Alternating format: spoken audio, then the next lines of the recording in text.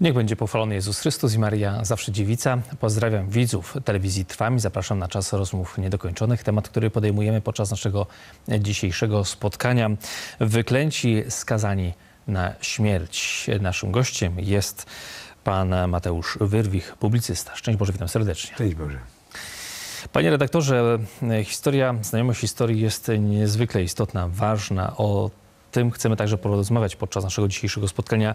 Mamy głęboką nadzieję, ufność również, że to nasze spotkanie przybliży nam tę tematykę, która związana jest z tematem, który postawiliśmy sobie jako taką myśl przewodnią naszego spotkania, wokół której będziemy także starali się osnuć różnego rodzaju inne tematy, jakże związane właśnie z tematem żołnierzy wyklętych, prawda, skazanych na śmierć. Rozpocznijmy może właśnie od tych spraw takich aktualnych, które gdzieś no, jakże dotykają nas, a mianowicie według Władimira Putina to nie pakt Ribbentrop-Mołotow, a pakt monachijski z 1938 roku doprowadził do wybuchu II wojny światowej. Prezydent Federacji Rosyjskiej o także współpracę z Niemcami hitlerowskimi przed II wojną światową oskarża m.in. Polskę, ale także Wielką Brytanię, oskarża także Francję, Czechy. Zdaniem, zdaniem pana redaktora, na co obliczona jest tego rodzaju prowokacja? No cóż, jest to typowy aparat ze Związku Radzieckiego. Ja czasami używam takiego sformułowania Rosja, tak zwany Związek Radziecki albo Związek Radziecki, tak zwana Rosja. Dlaczego? Dlatego, że jeśli chodzi o te dwudziestoletnie rządy towarzysza Putina, to właściwie jeśli chodzi o narrację, to tam się niewiele zmieniło. Troszkę, kiedy przychodził Gorbaczow, był pierwszym sekretarzem, później jego następca, uchylono archiwa moskiewskie. Między innymi wtedy dowiedzieliśmy się, że wybitni reżyserzy, wybitni scenografowie, prawda, czy wybitni działacze kultury współdziałali z mordercami lat 30. i 40., biorąc na, na przykład na plan filmowy ludzi, którzy w sposób autentyczny byli mordowani na planie filmowym, wykonywano na nich wyroki śmierci, a później tenże reżyser do, dostawał główną nagrodę za naturalizm, za realizm filmowy. Ale ta narracja, jeśli chodzi o e, Tosza Putina, czy prezydenta Putina, jak to dzisiaj nazywają, jest narracją przez cały czas, właściwie można powiedzieć, że niezmienną. Bo ja nie słyszałem nigdy, żeby e, kiedykolwiek Putin powiedział coś innego oprócz tego, co dzisiaj mówi. Dla nich dla Tosza Putina i całej tego jego ekipy wojna rozpoczęła się w 1941 roku, kiedy to Niemcy wypowiedzieli wojnę Niemcom. I od tego zaczęła się II wojna światowa. Wszystkie zbrodnie, które miały miejsce od 1939 roku do następnych lat, do 1941, przypomnę może Finlandię, Łotwę, Estonię, Białoruś, Ukrainę, no i oczywiście zabór połowy Rzeczypospolitej, II Rzeczypospolitej. Więc i zbrodnie, jakie były tam dokonywane w tym czasie, nie tylko w 1937, o czym od niedawna mówimy, 37, 38 czy 36, 39 wręcz, można powiedzieć, gdzie ginie ponad 100 tysięcy Polaków. Nie tylko zresztą. Tutaj poruszył Putin taki wątek, wątek rzekomy ambasadora Lipskiego antysemityzmu. No, jednym z największych antysemitów jest nie kto inny, tylko Putin. Nie kto inny był jednym z największych, o paradoksie, Lenin, Stalin. Wśród to właśnie Komitetu Centralnego KPZR, Komitetu Komunistycznej Partii Związku Radzieckiego, byli Żydzi, prawda? A e, jednym z największych antysemitów właśnie czystki największe były przeprowadzone zarówno przez Lenina, jak i przez Stalina. I kiedy mówimy o roku 1939, no to ciągle zapomina Putin i jego um, e, akolici, tak bym powiedział, czy to biuro czy obsługi, jakkolwiek by nie nazwać, o tym, że mnóstwo Żydów zostało wywiezionych w 1939 roku do, na Syberię. Tak samo jak i z Wilna, jak Polacy przeszli tę samą drogę. Co ciekawe, otóż Holokaust rosyjski został uznany przez państwo Izrael dopiero na początku XXI wieku. E, Dzieci Holokaustu były oczywiście niemieckie dzieci Holokaustu, natomiast nie było radzieckich dzieci Holokaustu. Wygrano, dzieci Holokaustu e, zesłane do Rosji wygrały proces e, przed sądem izraelskim. Ale powracając do roku 1939-1940, proszę pamiętać, odbyło się niezwykłe zjawisko, można powiedzieć, w polityce międzynarodowej. Otóż zarówno Hitler, jak i Stalin e, w Zakopanem, w Krakowie podpisali porozumienie w sprawie niszczenia polskiej inteligencji. I to niszczenie polskiej inteligencji e, mm, to był między innymi Katyń, jeśli chodzi o stronę rosyjską, a jeśli chodzi o stronę niemiecką, akcja AB, gdzie mordowano e, e, profesorów lwowskich, krakowskich, gdzie mordowano polską inteligencję. I proszę zwrócić uwagę, otóż kiedy w strefie radzieckiej znajdowali się Polacy z rodzin inteligenckich, ja nie mówię już o akcji Katyń, prawda, to e, albo przekazywano na stronę niemiecką, albo po prostu mordowano. Wspólnie rodziny mordowano, tak żeby oczywiście z zamiarem y, to, co się stało po 1944 roku. Prawda? Ta wymiana e, e, polskich elit na te komunistyczne elity, mordowanie elit II Rzeczpospolitej i wymiana, oczywiście nie w całości, no ale tak się działo. W związku z tym, jeśli a, mówi dzisiaj e, Putin o, o czymś takim, prawda, jak, e, że Polska w jakikolwiek sposób zawiniła, e, w, miała udział w rozpoczęciu II wojny światowej, że to się stało w 1939 roku, to jest po prostu oszust albo, albo kompletny ignorant. y, no, wiedząc o tym oczywiście, że nie jest ignorantem, zna politykę, jest po prostu oszustem, co zresztą pokazali mm, przywódcy e, wielu państw, między innymi Stanów Zjednoczonych, Francji, Anglii i e, e, innych Europy, więc, więc jasno i jednoznacznie pokazano. No ale towarzysz ma bardzo słabe notowania, w związku z tym musi zagrać tym czynnikiem polskim. No tu jeszcze jest inny czynnik, mianowicie wybiera się do Izraela. Tam jest ponad milion e, Izrael, e, e, Rosjan i Żydów, którzy mają prawo głosować też w kilkaset tysięcy ma, ma prawo głosowania głosu w wyborach w Rosji. To jedno, prawda? Więc nie wiem, może liczy na te głosy tam, ale też myślę, że w, sytuacji, w jakiej się znalazł Putin, a mianowicie y, takiej, która no jednak y, blokuje różnego rodzaju przedsięwzięcia gospodarcze, jak chociażby Nord Stream 2, blokada jest, y, myślę, że będzie po prostu chciał zmobilizować tym mówieniem, że ambasador Lipski był e, antysemitą, używał jakichś takich strasznych sformułowań, nie będę tutaj powtarzał. Chce w jakiś sposób zachęcić, prawda, e, tych Żydów, żeby wsparli jego, e, jego, jego, jego mm, rozmowy na terenie między, e, międzynarodowym w sprawie zniesienia sankcji. Myślę, że to się nie uda. Patrząc o- również na tę właśnie stronę antysemityzmu, na którą, o którą szarpie gdzieś e, prezydent Putin, wspomniał pan redaktor o ambasadorze Lipskim, o tych oskarżeniach, prawda? Ale właśnie to wydarzenie, które jest przed nami, druga połowa stycznia, Jerozolima, Instytut Yad Vashem i uroczystości związane z 75. rocznicą wyzwolenia niemieckiego obozu Auschwitz. I tutaj również gościem, jeden z głównych gości właśnie będzie prezydent e, Putin i jak e, zdaniem pana redaktora, czy ta struna antysemityzmu będzie dalej podejmowana e, przez e, prezydenta Putina? I druga sprawa mm, to właśnie, jak to się odbiło w, na e, arenie międzynarodowej? Czy prezydent Putin cel osiągnął, czy też wręcz przeciwnie? Y, Po pierwsze, myślę, że nie, że nie osiągnął tego celu. Zresztą to widać w agencjach, w prasie, w mediach. No, kilkaset milionów ludzi przeczytało, jeśli chciało oczywiście przeczytać, bo mówimy o nakładach, prawda, jakie są, czy w em, informacjach serwisowych, czy też po prostu w dziennikach, tygodnikach, gdzie ukazało się mm, wyjaśnienie premiera Morawieckiego. To jedno.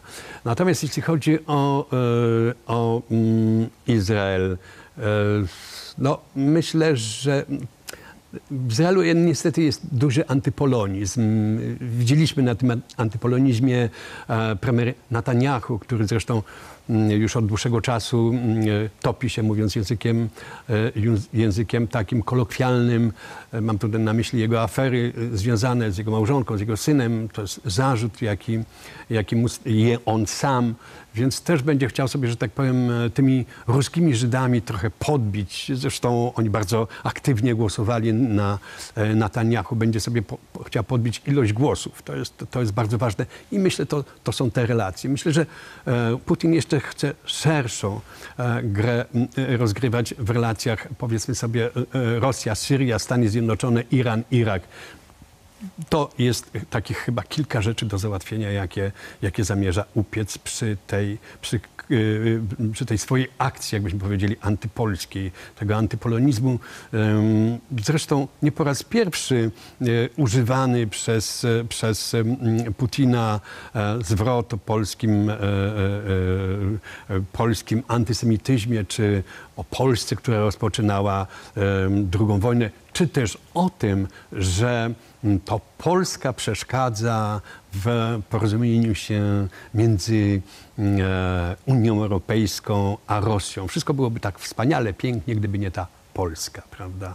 E, wszystko byłoby w relacjach amerykańsko-rosyjskich tak wspaniale, gdyby nie ta Polska. Myślę, że tu takim konikiem oważ Polska jest.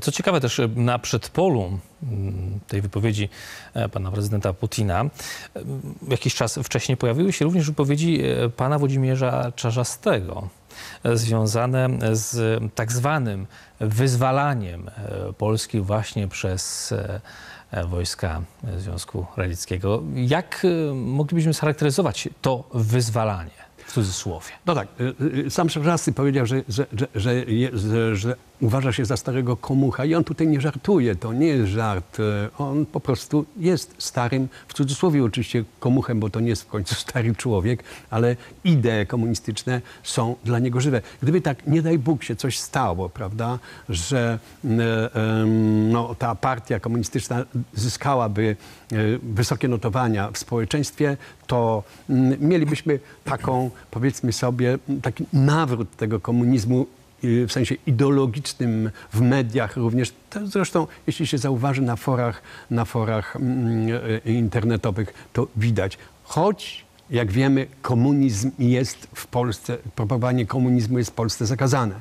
Gdyby, oczywiście być może towarzysz Czarzasty chciał uzyskać jeszcze większą popularność, że w myśl ustawy zostanie mu wytoczony, wytoczony proces za propagowanie komunizmu. Proszę zwrócić, paradoks polega na tym, uwagę, że za propagowanie nazizmu prawda, karze się ludzi łącznie z więzieniem. Nie tylko w Polsce, e, ale w Europie generalnie rzecz biorąc w niemal wszystkich krajach mm, skupionych w Organizacji Narodów Zjednoczonych. Natomiast jeśli chodzi o komunizm, nie.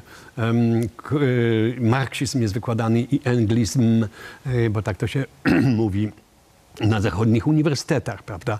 Więc to, co byśmy nazywali ekologizmem dzisiaj, to ma zabarwienie takie marksistowskie. Generalnie rzecz biorąc, totalitaryzm ponowny. Nie tak wchodzimy, to inaczej. Więc jeśli chodzi o mm, pana Czarzastego, no jest bez wątpienia towarzysz, towarzysz Putin e, swoich towarzyszy wspiera i ożywia w krajach e, demokracji ludowej, jak to się niegdyś mówiło, czyli w byłych, e, w byłych postsowieckich no, w quasi czy, czy republikach, czy quasi-republikach, prawda?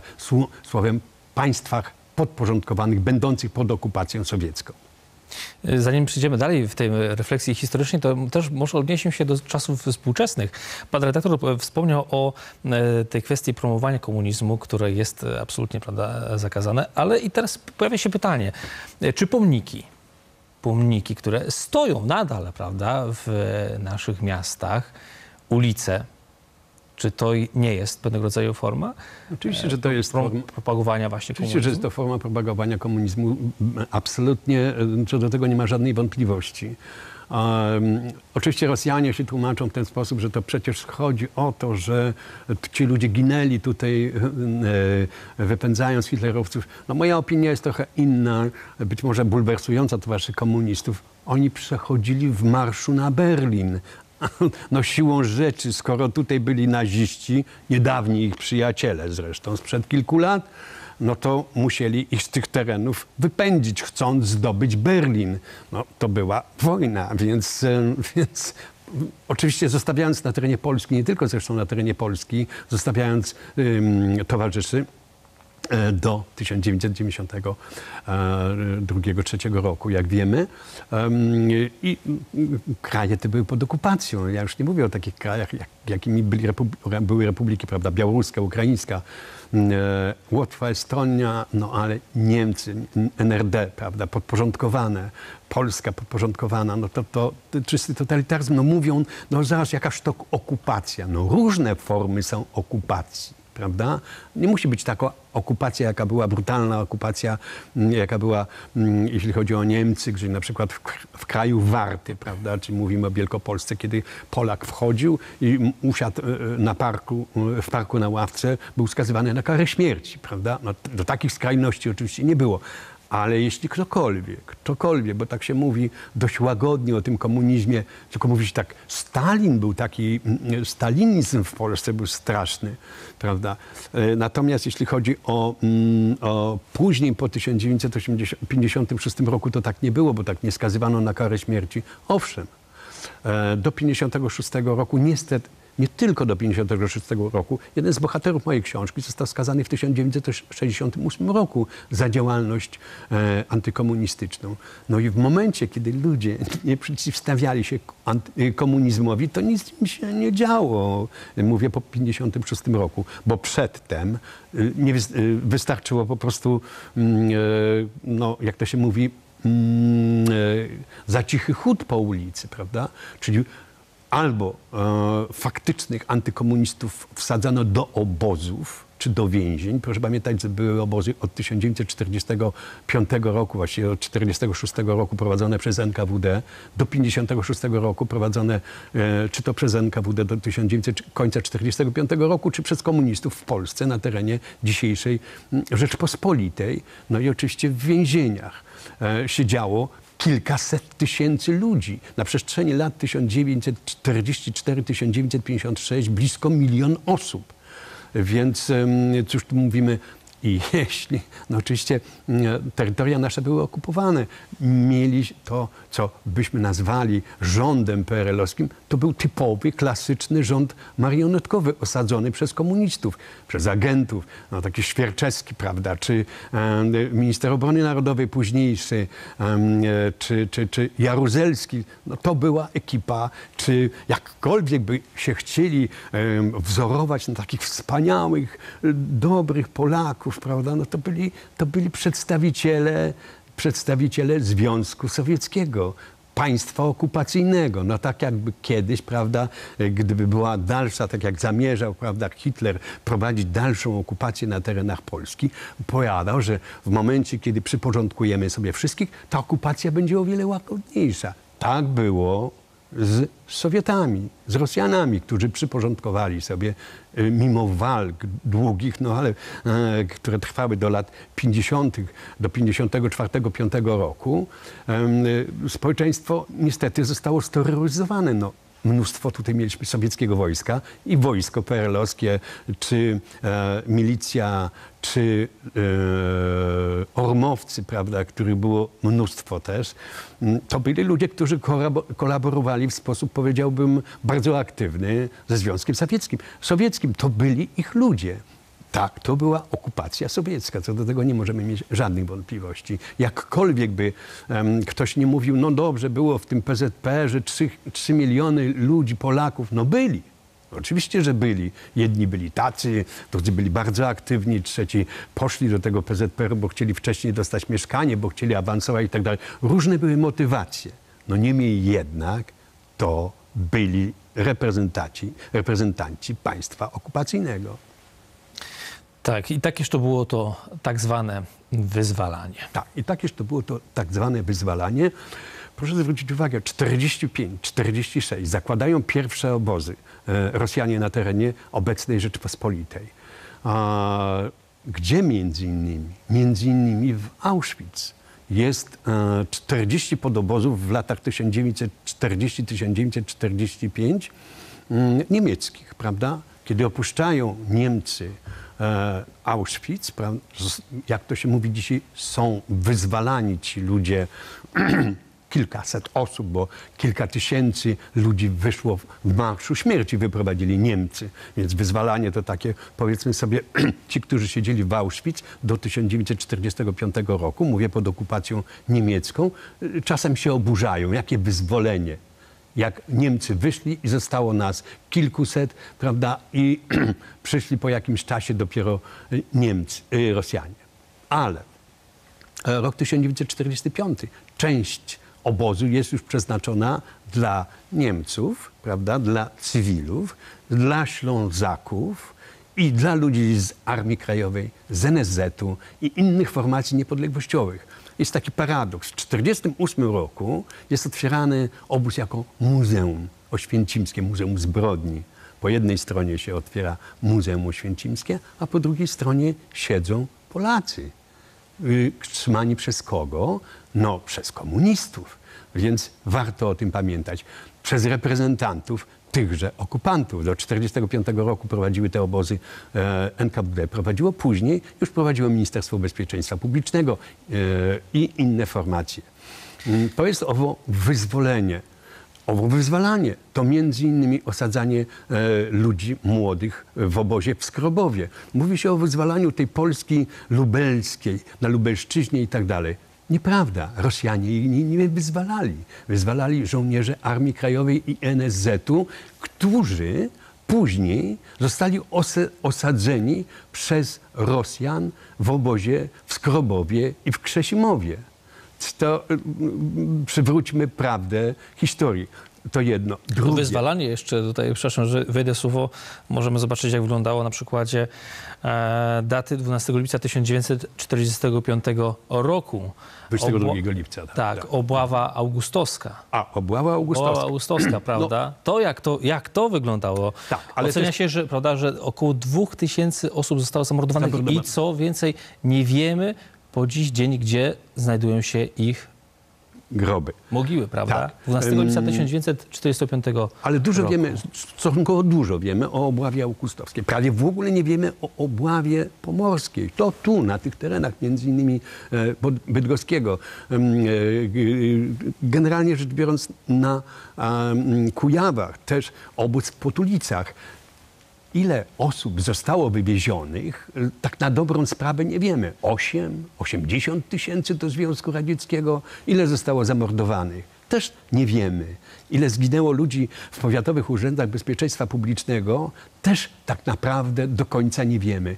E, I jeszcze w roku 1945 wchodzi, e, wchodzi mały kodeks karny. Na podstawie tego małego kodeksu karnego dziewięć artykułów mogło skazywać każdego obywatela e, na karę śmierci. Wojskowe sądy decydowały o tym.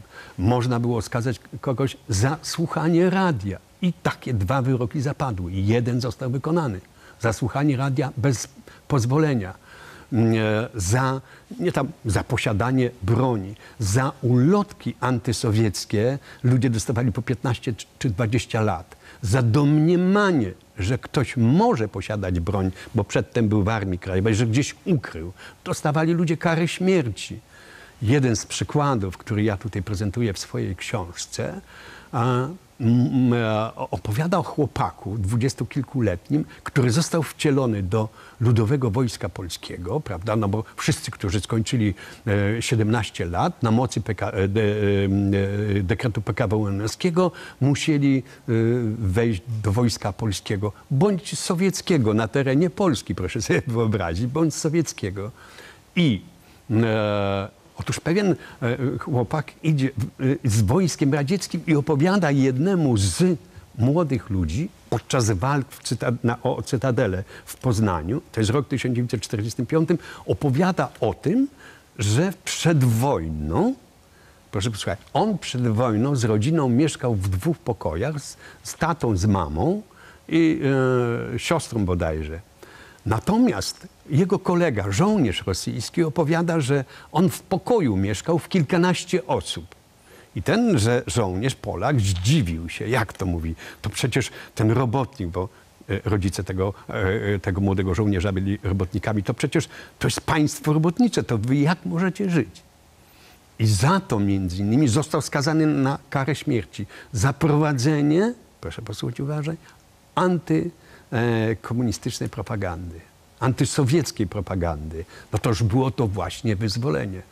A wyzwolenie, na przykład kiedy mówi się o zdobywaniu między innymi właśnie poznańskiej cytadeli, tam y, łapali żołnierze sowieccy, pijani żo żołnierze sowieccy, łapali Polaków, wręczali im broń, żeby zdobywali cytadele a opiewa się wielkie książki o zdobywaniu cytadeli. Oczywiście też i Rosjanie zdobywali, i polskie wojsko, PRL-owskie wojsko zdobywało tę cytadelę, ale słano też cywilów, co było niezgodne z, z, z układami genewskimi. To, to jest w ogóle, to właśnie jest to wyzwolenie.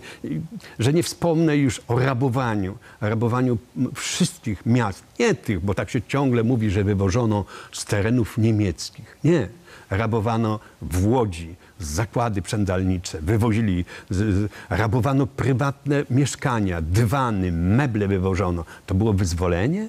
Wywożono e, zakłady Cegielskiego z Poznania. To jest to wyzwolenie? Prawda? Wszystko, co można było zrabować z prywatnych mieszkań, obrazy, dzieła sztuki do dzisiejszego dnia. E, ciekaw, ciekawostką, szefem do spraw kultury na terenie Polski jest czas wojny.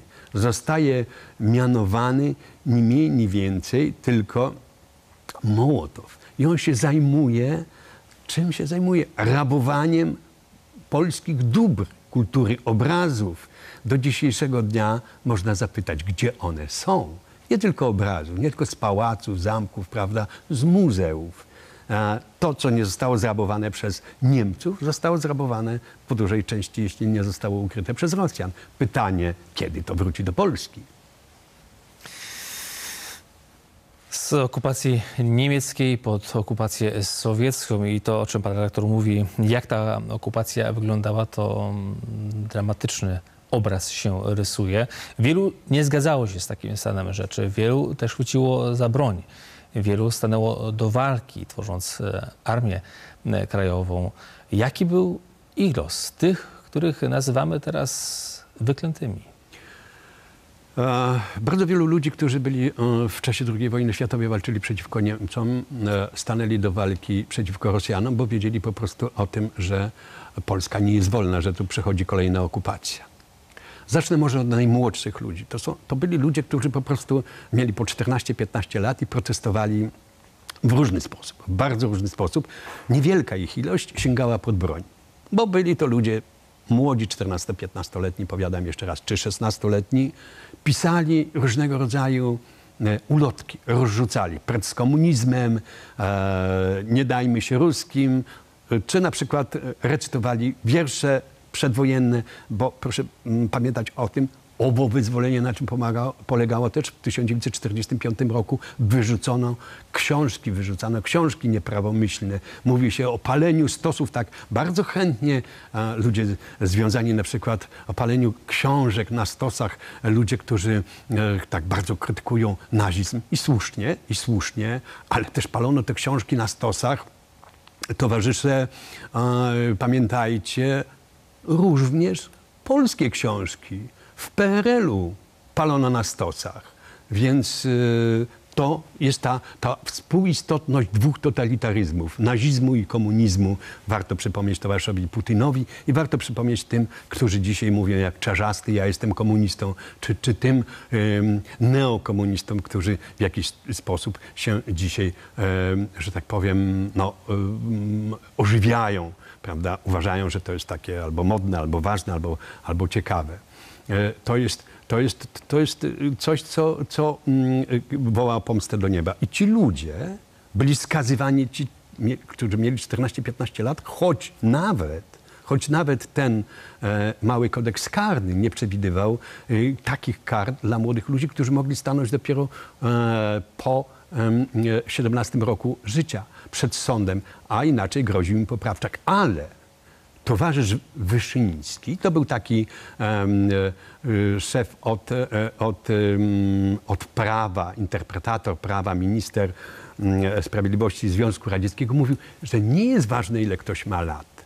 O wadze y, decyduje rodzaj przestępstwa. I jeśli on trzymał, prawda, ulotkę antysowiecką, występował przeciwko Sowietom. W związku z tym trzeba go skazać na wieloletnie więzienia. I ci ludzie dostawali po 15-20 lat, na ogół lądowali, jeśli można mówić, w więzieniach normalnych, ale także obóz Jaworzno. Jedna z filii, jedna z filii Auschwitz od 1945 roku była obozem prowadzonym do końca 1945 roku przez NKWD. Później była prowadzona przez Ministerstwo Bezpieczeństwa Publicznego. Od 1950 roku do 1955 roku była tam młodzież. Tam było blisko 11 tysięcy ludzi przeszło y, przez ten obóz. Ja właśnie pracowali ciężko w kopalniach, e, ci, którzy mieli wyrok do, pią- do piątego roku życia, a ci, którzy mieli wyrok powyżej piątego roku życia, pracowali na terenie tego, tego, tego obozu. Co między innymi robili? Robili, a, no jakby to powiedzieć, ramy okienne, betonowe ramy okienne, nie tylko zresztą, ale także mm, różnego rodzaju em, elementy do daru Związku Radzieckiego. Jakim to darem był i dziś, do dzisiejszego dnia się mówi Pałacu Kultury i Nauki. Prawda? To między innymi oni wytwarzali. No, w, innych, w, innych, w innych mm, warsztatach zajmowali się stolarką, między innymi, czy też e, kamizelkami kuloodpornymi dla swoich oprawców, czyli dla e, zomowców, czy jeszcze wtedy nie, były, nie było ZOMO, prawda, tylko dla tych milicjantów.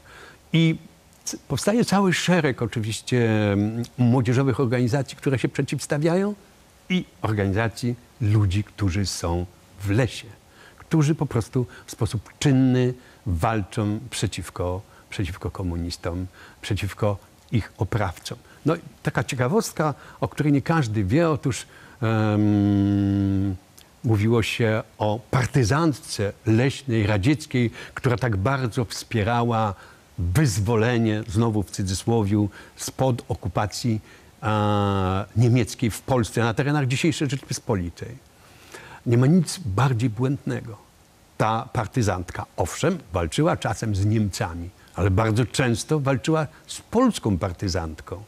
Bardzo często to były em, oddziały śmierszy, które inwigilowały naszą partyzantkę. I w momencie, kiedy przyszedł rok 1944-45, mówimy o 1944, ponieważ na dzisiejsze tereny Rzeczpospolitej e, w styczniu 1944 roku Sowieci weszli, w tym momencie po prostu odbywała się mm, strzelanina przeciwko Polakom, przeciwko oddziałom partyzanckim w lesie e, skierowanym ze strony ruskich.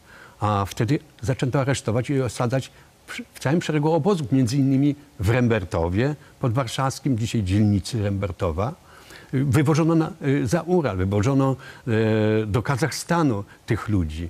Ci wyzwoliciele radzieccy. No, co jeszcze robili?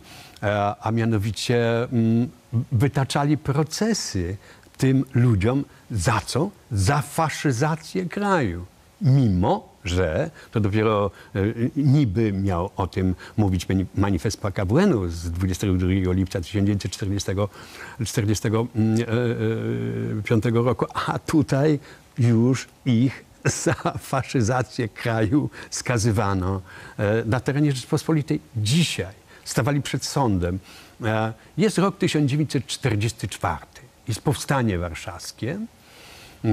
I dochodzą do Wisły, dochodzi po drugiej stronie, w głównej mierze się dzieje e, nie na praskiej stronie, króciutko po praskiej stronie jest powstanie przeciwko Niemcom. Powstanie warszawskie po drugiej stronie jest.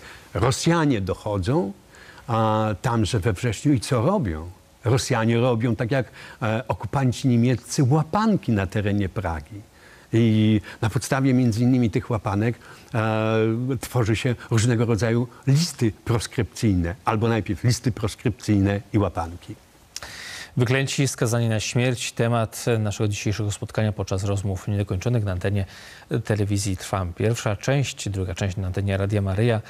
A naszym gościem jest pan Mateusz Wirwich, publicysta. Zapraszam również widzów telewizji Trwam do współtworzenia czasu naszego e, spotkania. Numery kontaktowe wyświetlają się u dołu e, ekranu. Zapraszamy serdecznie, aby właśnie również e, zabrać głos w tej naszej dzisiejszej dyskusji w której przechodzimy od tego, co było, do tego, co jest, bo jakże nieznajomość historii, jakże szkodzi i jakże widzimy, odbija się czkawką. No właśnie, towarzysz Kwaśniewski mówił, nie, nie patrzmy na to, co było, patrzmy w przyszłość.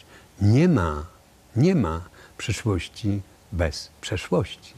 Nie ma tożsamości budujemy na niej, na e, krwi naszych bohaterów, na ludziach, którzy do dzisiejszego dnia żyją, którzy byli prześladowani przez cały PRL. Mówię o kolejnych pokoleniach, łącznie z tym pokoleniem od 1980-89, którym to pokolenie bardzo często, które to pokolenie lat 40. brało udział w budowaniu Solidarności, budowaniu podziemia Solidarności, podziemia niepodległościowego, Bogu dzięki pokojowego, bez broni a choć zamordowanych było ponad 110 e, czy 120 osób, w tym kapłani, prawda? Już fundamentalnie mówimy ciągle oczywiście o księdzu mm, e, Popiełuszce, ale też i inni księża w tak zwanych tajemniczych okolicznościach do dzisiejszego dnia niewyjaśnionych.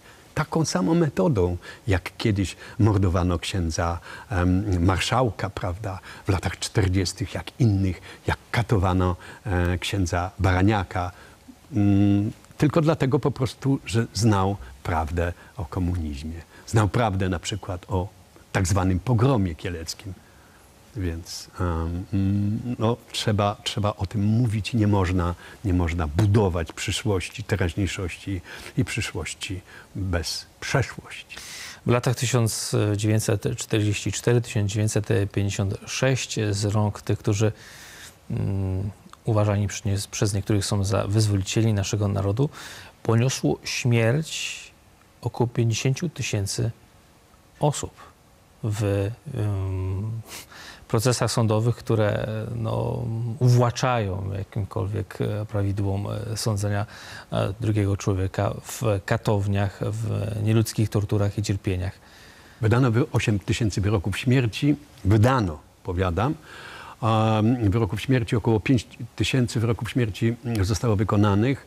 E, natomiast to, ile osób zostało zamordowanych w trakcie, bardzo taką znaczącą, o czym wspominają bohaterowie mojej książki, bardzo znaczącą taką metodą, jaką, jaką jaką, jaką e, stosowano, kiedy przewożono z Wojewódzkiego czy z Powiatowego Urzędu Bezpieczeństwa Publicznego, e, było po prostu zatrzymywanie samochodu, bo oczywiście w konwoju ich prze, prze, przewożono, zatrzymywanie samochodu, prawda, i e, no, żeby ktoś poszedł sobie gdzieś tam na stronę. Najczęściej robiono to w lesie. I kiedy ci ludzie wychodzili skuci, prawda, strzelano do nich z tyłu. Mamy wiele przykładów na to. Opowiadają bohaterowie mojej książki o tym, że byli świadkami takich wydarzeń. Mało tego, e, bardzo często było tak, że organizowano różnego rodzaju, jakbyśmy to powiedzieli, e, spotkania żołnierzy radzieckich z żołnierzami polskimi w 1944 i 1945 roku. I co robiono? Aresztowano tych żołnierzy. I a, przesłuchiwano tych żołnierzy o losach tych przesłuchiwanych przez NKWD czy przez śmierć, prawda? Nie wiemy do dzisiejszego dnia o losach wielu z tych ludzi. Część, wiemy, wywieziono na Syberię. A część trafiła do obozu, jak już wspomniałem, w Rembertowie. A wyjeżdżało, powiedzmy sobie, 5 tysięcy wywiezionych było, mówię o wojskowych, wracało tysiąc w 1947 roku, 1950 roku, 1956, ba, nawet w 1959 niektórzy przyjeżdżali. Zesłani, prawda, na e, Syberię czy do Kazachstanu. Ginęli. Czy byli mordowani? Do dzisiejszego dnia nie wiemy. Wielu ludzi e, e, zginęło z wycieńczenia, z braku jedzenia, a wielu po prostu zostało w najnormalniejszy sposób zakatowanych, zamordowanych. Więc towarzysz Putin niech nie mówi o wyzwalaniu Polski, bo było wyzwalanie tych krajów, które były później pod okupacją sowiecką. Wyzwalanie z jednej okupacji pod drugą. Cały czas Rosjanie do 1941 roku, dopóty, dopóki wojna nie wybuchła, wymieniali się, jak już wspomniałem, informacjami o polskich elitach i mordowali je. To jest e, przykład do dzisiejszego dnia. Tą zresztą sprawę e, do dzisiejszego dnia, myślę, e, niewyjaśnioną. Warto by się tym historycy zajęli, no ale oczywiście, jak wiemy, wszystkie archiwa najważniejsze są w Moskwie i one wątpię, żeby były kiedykolwiek udostępnione. Tą sprawą, tą sprawą tak gnięcia różnych ludzi, nawet w Auschwitz, bardzo, bardzo, bardzo e, był związany towarzysz Cyrankiewicz, Józef Cyrankiewicz. To między innymi dlatego, że te tajemnice towarzysza Józefa Cyrankiewicza i komunistów z Auschwitz znał e, zamordowany nasz bohater, prawda? Wyklęci skazani na śmierć, temat, który podejmujemy. Naszym gościem jest pan Mateusz Wyrwik, publicysta. Zapraszamy widzów telewizji Trwam do współtworzenia czasu rozmów niedokończonych. Bardzo proszę. Halo. Halo? Proszę bardzo. Nie będzie pochwalony Jezus Chrystus, Maria Dziewica. Teraz i zawsze. Teraz i zawsze. Dzwoni Ryszard z Jaworzna, Matki Boskiej Niepokalanej. I ja mieszkam właśnie niedaleko tych budynków, co pan publicysta wspominał. Prawie w Auschwitz, Kwili i potem więźniów lat 50. y, obozu. Tam szkoła podstawowa jest, budynki mieszkalne w tej chwili w tych obiektach. Ja tam zacząłem szkołę podstawową w 68 roku właśnie i, i, nie wiedziałem o tym nic, dopiero się dowiaduję po tylu latach, już mam prawie 60, dopiero po tylu latach, że coś takiego, tam pomnik jest i tak dalej, dopiero się zacząłem interesować tymi sprawami. A czy to jest prawda, że tam e, kierował tym obozem dla młodzieży skazywanych wtedy w tych czasach, bo to bieg mojej mamy, nie wiem, świętej pamięci, e, Salomon Mores z pochodzenia Żyd? tak, tak, oczywiście, ale on krótko akurat kierował. e, Wiem, że był katem w Świętosłowicach, nie? I tej, ten... Tak, tak, nie tylko zresztą w Świętochłowicach. a- Panie Ryszardzie, bardzo panu serdecznie Tak. dziękujemy i przekazujemy głos panu redaktorowi. Proszę bardzo. No tak, y, środowisko żydowskie było bardzo aktywne. mm, Tworzyło, współtworzyło Ministerstwo Bezpieczeństwa Publicznego, cały Komitet Centralny PZPR. No, y, była, jak stwierdził nawet y, sowiecki ambasador, nadreprezentacja 37%, prawie 38% w stanowiskach kierowniczych e, to, było, to, to byli ludzie związani z, z środowiskiem żydowskim. Oczywiście to różni byli, prawda, byli tacy, mm, można powiedzieć, wysferzeni Żydzi, czyli po prostu e, oni się nazywali ateistami, nie byli związani ze środowiskiem, no niemniej jednak było ta, jest książka wydana e, w latach, e, na początku lat 90., e, opisująca y, ś- e, Ministerstwo Bezpieczeństwa Publicznego, kadry Ministerstwa Bezpieczeństwa mm, Publicznego i tam jest e, w wyznaniu mm, e, jest e, bardzo często, no powiedziałbym nawet e, w trzech czwartych e, tego przeglądanego Ministerstwa Bezpieczeństwa i też e, kartotekach informacji wojskowej także e, e, e, wpisywano tam wydanie, e, wyznanie mojżeszowe. Więc, e, no, więc to, to, to, to, to jest oczywiste.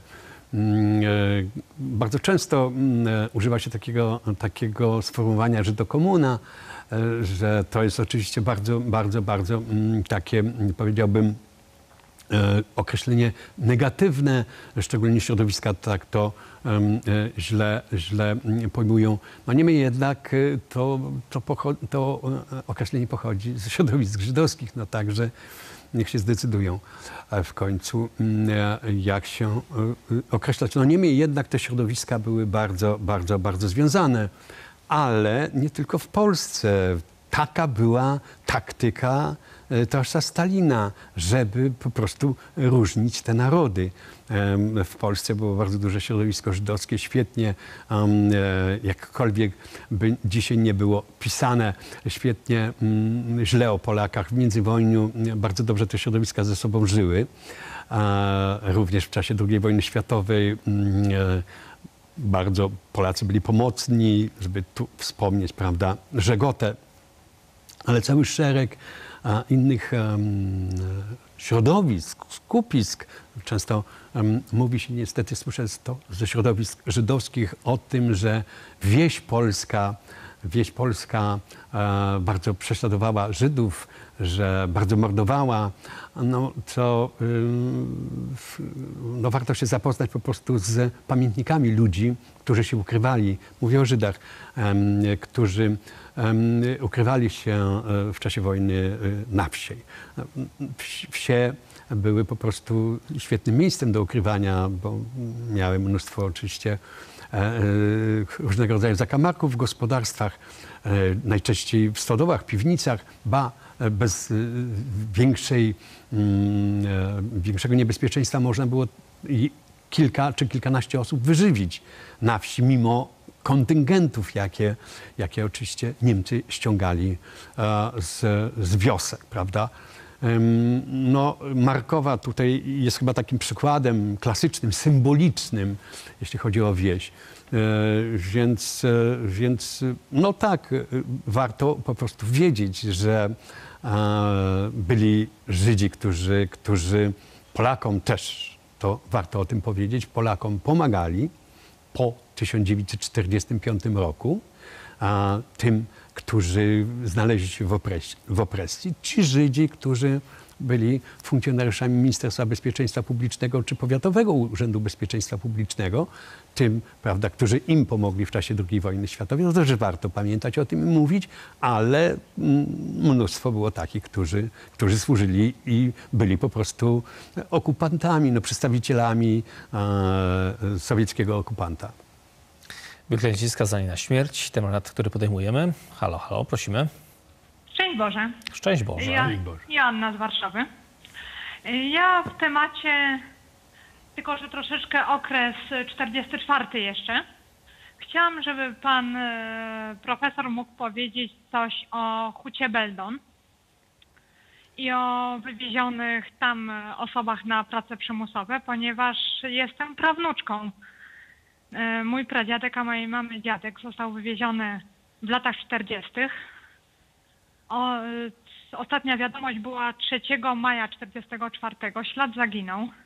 Był poszukiwany przez żonę w 46, przez córkę w 81, 82, bez śladu. Y, Do tej pory, że tak powiem, staramy się jakiegoś e, informacji uzyskać bez żadnego rezultatu. Ja się zaangażowałam nawet u pana Szwagrzyka na pracach przy poszukiwaniach, żeby, mówię, odpracować e, dług wdzięczności, że tak powiem, nawet za to wszystko, co oni dla nas zrobili za wolną Polskę. Pani Anno, dziękujemy serdecznie, pozdrawiamy Panią. Y, Proszę Pani, więc y, ja myślę, że tu chodzi raczej o 1945 rok, początek 1945 roku. A, za- Zaginął, y, proszę Państwa, ja tutaj właśnie wspomniałem o, o tych terenach e, pomorskiego, mówiliśmy tutaj oczywiście o Buławie Augustowskiej. Tysiące ludzi do dzisiejszego dnia, nie wiemy, zostało wywiezionych z terenu Śląska dzisiejszego. Mało tego, ludzie, którzy mm, e, Igenfarben likwidowali, fabrykę, tę niemiecką fabrykę, która istniała na terenie Auschwitz, prawda, w Oświęcimiu istniała, a ci ludzie rozmontowywali tę fabrykę. E, Rosjanie następnego dnia wieczoru, podczas, przepraszam, e, wie, wieczorem wydali bankiet, a następnego dnia aresztowali tych ludzi, którzy demontowali i zabrali tych ludzi ze sobą do Związku Radzieckiego jako niewolników. Oczywiście, żeby zmontowali tę fabrykę. A tak się działo z całą masą ludzi, którzy e, byli w zakładach pracy i których to, w których to zakładach pracy e, demontowano maszyny i aresztowano ludzi i wywożono razem z tymi maszynami. Związek Radziecki potrzebował, a ich nie miał, ogromnej ilości, ogromne ilości potrzebował e, górników, w szczególności ludzi, którzy mieli wykształcenie techniczne, inżynieryjne. No i normalnie w świecie wywoził ich. Kiedy był na terenie, na terenie dzisiejszego Śląska, czy na terenie, generalnie rzecz biorąc, dzisiejszej Rzeczpospolitej, brano pod uwagę a, ludzi, których, którzy będą im przydatni. Aresztowano i wywożono. Niektórzy, niektórzy w 1940, mm, w ty- 1950, 52, 3, 4 roku po śmierci Stalina uzyskiwali status półwolnościowy albo wolnościowy i zostawali na terenie, na, terenie, na terenie Związku Radzieckiego. Ale też byli ludzie po prostu, którzy nie wyjeżdżali, którym nadawano obywatelstwo radzieckie i których nie wypuszczano. Ja podam taki przykład pewnego pana z e, wioski podłomżyńskiej, troszkę inna sprawa, bo został wywieziony jako dziecko w 1939 roku, w 40, przepraszam bardzo, z Łomży. Mm, e, I on został wcielony do, e, został obywatelem radzieckim, został wcielony do wojska, prawda, i tak dalej. Ożeniony został z funkcjonariuszką NKWD, żeby nie było, która go pilnowała, z którą miał zresztą y, dwoje dzieci, czy dwóch synów, zdaje się, czy, czy, no nie, w każdym razie nie tak.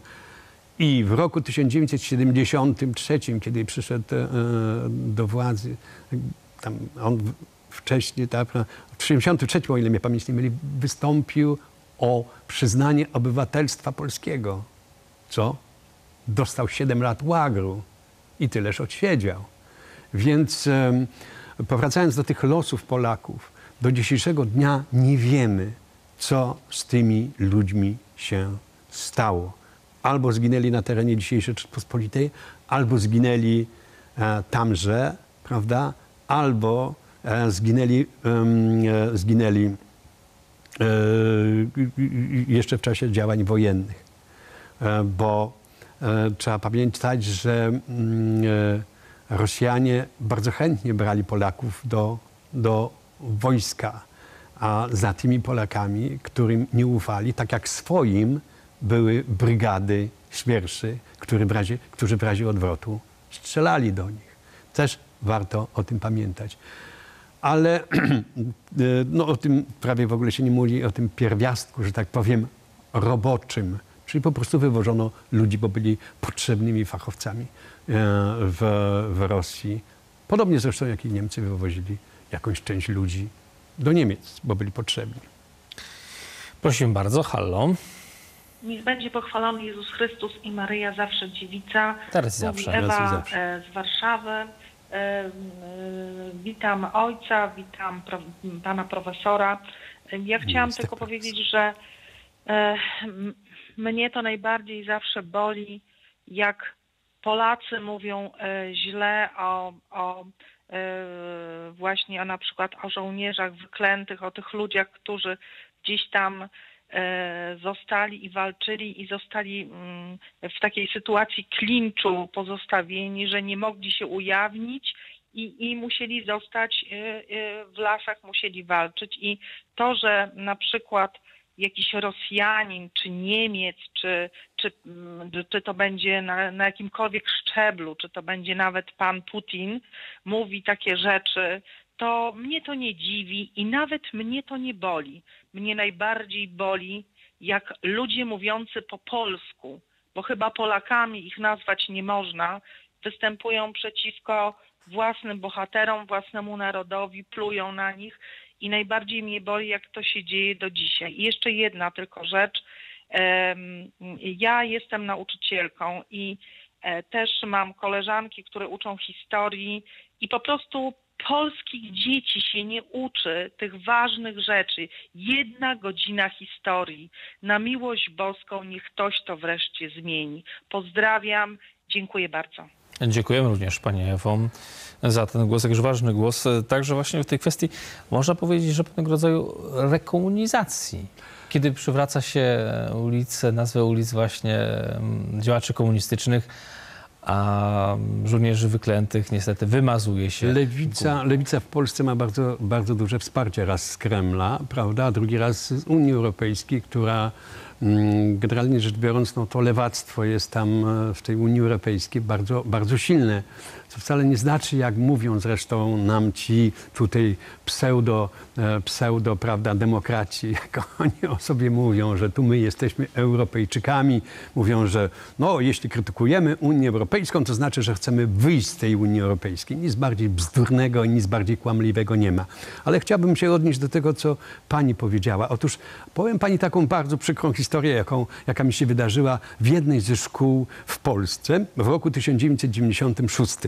Mm, Otóż pewna absolwentka, pani, która prowadziła kółko historyczne w liceum, mm, po moim spotkaniu autorskim w tejże szkole, e, w której opowiadałem o obozie w Jaworznie dla młodzieży, po promocji mojej książki, ta pani kończyła mm, UMCS w Lublinie, e, wyszła ta pani i powiedziała, proszę pana, jak można takie rzeczy opowiadać młodym ludziom? Przecież to jest kłamstwo. Dlaczego pan opowiada takie rzeczy? Przecież czegoś takiego nigdy nie było. E, proszę pani, to jest rok 1996. No, nie wiedziałem, czy się śmiać, czy płakać. E, Tam byli uczestnicy tego. te- To, to było w jednej ze szkół, e, no powiem, w Ostrołęce. Tam byli ludzie, którzy siedzieli w tej szkole, z- przepraszam, siedzieli w tym obozie, a przedtem chodzili e, w 1946, tam 5, 6 chodzili, czy 7, czy 8 chodzili do tej szkoły. W jednej ze szkół, e, nie będę tutaj już wymieniał, jaka to była szkoła. I, to jest zastanawiające. Być może to bierze się stąd, że, że, że tak mało jest tych, tych, tych lekcji. To, to jest przerażające. Rzeczywiście historii to jedno. Drugie, e, ta pani oczywiście kończyła w PRL-u, e, bez wątpienia e, studia historyczne, no ale miała czas, żeby się przez sześć lat douczyć. To jedno. A drugie, Wspomniała Pani, bardzo pięknie mówi Pani o tym, o tym e, e, no, współczuciu i smutnym losie żołnierzy wyklętych. Proszę Pani, tymi żołnierzami, albo bym powiedział żołnierzykami wyklętymi są następne pokolenia. Otóż bohaterowie mojej książki, ale także moich innych książek, o których, e, w których opisuję innymi obozy pogardy, komunistyczne obozy e, w Polsce 1944-56, czy w tej książce, czy w książce Łagier Jaworzno, ci ludzie mają swoje dzieci i im się mówi, albo się nie mówi wprost, że ty nie pójdziesz, nie zdasz na studia żadne, nie tylko w latach 60. czy 70. Im się mówiło o tym w latach 80. Bo twój ojciec jest po prostu przestępcą.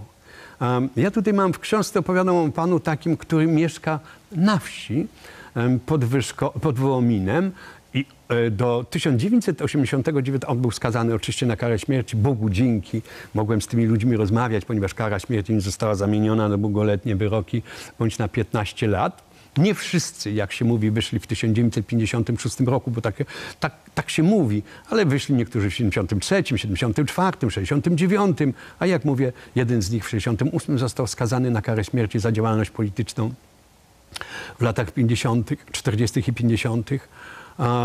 I po prostu ci młodzi ludzie byli prześladowani po lata 80. Wspominam o takiej miejscowości Wygoda, kiedy Przyszedł rok 89, oczywiście zaczęto mówić o tych żołnierzach, tak jeszcze nieśmiało. Po raz pierwszy oczywiście wiemy o, żołnierzach wyklętych, e, mówi, mówi środowisko republikanów, młodzieżowe środowisko,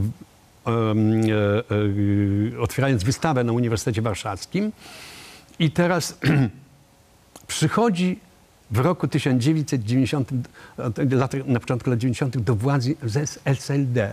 I przedtem, w latach 80., mówią o tym człowieku, że to jest bandyta, przestępca. Tak mówią o jego dzieciach i wnuczkach w latach 80. I przychodzi do władzy SLD. I co się dzieje? Tablica, która została bodaj w Wyszkowie w jednym z kościołów poświęcona i została zrzucona i dalej na jego wnuczki zaczęto mówić wnuki mordercy. Więc proszę pani, to jest kontynuowane. Ja jeszcze może powiem o takim e, dla mnie szokującym wydarzeniu. Jest rok 2000, już nie pomnę, czy 2001. Jest na Uniwersytecie Warszawskim, e, w Pałacu Kazimierzowskim, wystawa poświęcona e, tym młodym ludziom z Jaworzna. I jeden z tych jawożniaków, jak ja to namywam, czyli ludzi, e, którzy siedzieli w obozie w Jaworznie, opowiada o e, tym wydarzeniu i mówi, że jednym z mm, e, wydziałów, które miały negatywny wpływ na to, że oni siedzieli, był Wydział Prawa Uniwersytetu Warszawskiego. Jest rok, rok powtarzam Państwu, 2000-2001. I co się dzieje? Ci ludzie, którzy tam byli zgromadzeni z tegoż wydziału, pracownicy naukowi i studenci, zaczynają buczeć. I tenże pan Jaworzniak, dziś adwokat, mówi: No, widzę, że jeszcze na tym wydziale e, duch towarzysza Wyszyńskiego e, krąży, prawda? Więc e, no, trzeba po prostu rzucać i pomniki, i nazwy ulic, i trzeba wyrzucać ze świadomości, ze świadomości obywateli, prawda? To, co się nazywa komunizmem i postkomunizmem. Wyklęci skazani na śmierć. Halo, odbierzmy kolejny telefon, bardzo proszę. Szczęść Boże, Jerzy z Olsztyna się kłania. Szczęść Boże. Pozdrawiam Szczęść Boże. serdecznie ojca i prowadzącego i pana publicystę. Ja mam takie trochę może nie na temat wyklętych, bo o tym oto tutaj akurat poznałem jednego wyklętego w Olsztynie. To jest brat mego kolegi serdecznego i on tutaj był właśnie też uważany kiedyś za bandytę, y, skazany, siedział w więzieniach i przypieli mu y, tego. A teraz no, został no, rok temu, tak, czyli ja nawet byłem nim osobiście y, w Pałacu Prezydenckim, gdzie został oznaczony krzyżem, no, krzyżem walecznych, nie kale- kawalerskim tam, y, czy oficerskim, o przepraszam. No i to było piękne, bo to już jest starszy człowiek i 80 ma w tej chwili. No ale ja tak jeszcze takie pytanie mam. Czy, y, bo wielu wy, wywieziono, ale później, czy ci nasi okupanci sowieccy nie sprowadzili do Polski stamtąd pod y, przykrywką zamordowanych prawdziwych Polaków Rosjan, tak zwane matry, matrioszki, którzy byli no, wykształceni i przerobieni na Polaków, no i którzy do dzisiaj, prawda, ich tam potomkowie są w Polsce. No i działali oczywiście na sznurku sowieckiej władzy w Polsce przez wiele, wiele lat. I czy to jest, to może być prawda, bo wiele się o tym mówiło, wiele się nawet mówiło, że matrioszką był niejaki pan Jaruzelski, ale to, to już nie wiem. Dziękuję bardzo, szczęść Boże. Szczęść Boże, panie Jerzy, pozdrawiamy serdecznie, dziękujemy również. Proszę ten nie głos trzeba było żadnych matrioszek, po prostu przywozili do, z, ze Związku Radzieckiego, przywieźli w 1944-1945 roku, przewieziono generałów, przewieziono pułkowników, kilkudziesięciu generałów, ponad 300 pułkowników, a, p- p- pona- ponad 500 majorów, etc., etc. I ja mówię o tych, nie mówię o tych, którzy siedzieli w jednostkach w Legnicy, w Białogardzie e, czy e, w Brzegu, tylko mówię o tych, którzy siedzieli po prostu w Ministerstwie Bezpieczeństwa Publicznego, w informacji wojskowej. A w wojsku, generalnie rzecz biorąc, była ogromna czystka, mm, e, która mm, miała miejsce w latach 40. i 50. E, Zapadły wyroki śmierci, część e, ludzi wyrzucono, część zmuszono do, do współpracy takiej czy innej i generalnie rzecz biorąc ci ludzie mm, pozostali po roku, do roku 1989. Jeśli popatrzymy, em, oczywiście ich dzieci, jeśli popatrzymy na e, nazwiska e, chociażby w blokach na ulicy Parkowej, poniżej Belwederu, e, no to są nazwiska, które są albo spolszczone, albo jeszcze niektórzy e, zostawili swoje rosyjskie nazwiska. Specjalnie się nie, nie, e, z tego powodu nie... Mm, nie wstydząc, e, przecież e, rok 1956, a to co się działo w, w tym, w, mm, e, w Poznaniu, ta zbrodnia poznańska, która jest czasami nazywana wypadkami poznańskimi, tak, to wypadek jakby był tramwajowy, samochodowy czy coś takiego. Nie, zbrodnia. Właśnie to w głównej mierze przeprowadzono ją przy pomocy sowieckich, sowieckich oficerów. Oni byli na lotnisku I to oni mm, y, decydowali, decydowali, jakie będą teraz podjęte przedsięwzięcia. Ym, oczywiście wykonawcami byli ludzie z Ministerstwa Bezpieczeństwa Publicznego, ale wcale nie jest nieprawdopodobne, by w polskich mundurach byli ludzie, którzy, e, którzy, którzy mm, e, władali świetnie językiem rosyjskim. Ja opowiem może taką historię. Otóż w 1981 roku byłem redaktorem dziennika, e, przepraszam, tygodnika e, z którym do dzisiejszego dnia współpracuję, co sobie zresztą poczytuję za wielki honor. E, I mm, w 1981 roku podczas strajku e, lotników nikt to inny, tylko sowieccy żołnierze zrobili desant na lotnisko wojskowe w Warszawie w roku 1981. No co, czyżby oni nie mieli zezwolenia towarzysza Jaruzelskiego? Tak. Towarzysz Jaruzelski dał im zezwolenie, bo kto to był towarzysz Jaruzelski? Towarzysz Jaruzelski to był ich człowiek, który powinien stamtąd dostawać emeryturę i stamtąd dostawał szlify generalskie. To był facet, który w 1968 roku, proszę Państwa, robił czystkę wśród środowiska i polskiego, i żydowskiego. Jeśli Żydzi mają pretensje do e, Polaków, o wydarzenia marcowe, jak oni to mówią, i o wyjazdy z dworca gdańskiego, to niech najpierw e, odkryją i popatrzą w archiwa, w dokumenty, kto ich wyrzucał. Was e, wyrzucali e, towarzysze wasi, towarzysze polscy czy żydowscy, prawda, ale to oni towarzysze z PZPR-u wyrzucali. Y, Popatrzcie, kto był w wojsku, kto był w, w milicji, na stanowiskach kierowniczych, prawda? To, że była walka y, między nimi, to jest odrębna sprawa. Ale nie łączmy tego z polskim narodem. Łączmy to z Kremlem, łączmy to z wysłannikami Kremla na tereny polskie. Trzeba jasno i jednoznacznie powiedzieć, to byli przedstawiciele okupanta na najwyższych, na najwyższych stanowiskach. W radio, w telewizji, w teatrach, w instytucjach kultury, w bibliotekach, e, w encyklopedii, e, całej masie po prostu w tych e, bardzo, mm, że tak powiem, no, y, y, y, takich no, reprezentatywnych instytucjach, tam oni byli, ci radzieccy towarzysze. Jakkolwiek by nie przebierali się w polskie mundury, to ich mentalność była radziecka. Wykonywali to, co Sowieci chcieli. Wyklęci skazani na śmierć, temat, który podejmujemy i który będziemy kontynuować już na antenie Radia Maryja o godzinie 21.30. Serdecznie zapraszamy również do udziału, a drodzy.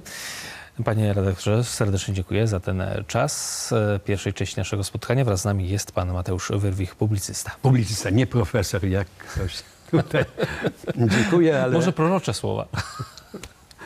Bóg zapłać serdecznie. dziękuję serdecznie. Z Panem Bogiem. Panem Serdeczny Bogiem, Bóg zapłać. niech będzie pochwalony Jezus Chrystus i Maria zawsze w.